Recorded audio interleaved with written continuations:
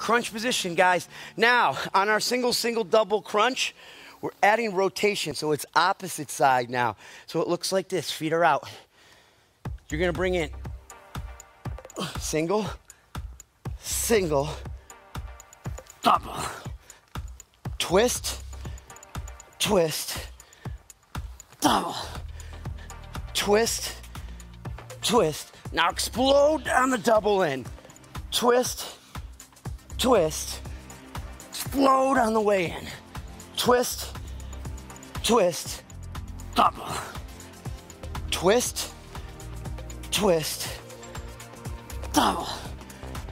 Twist, twist. Now explode on the double in.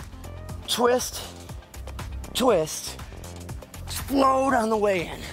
Twist. If you need to take a break, take a break. If not, I beg you to stay with me. That's where results are. You earn results, you don't quit on results. You got three, you've got two, you've got one.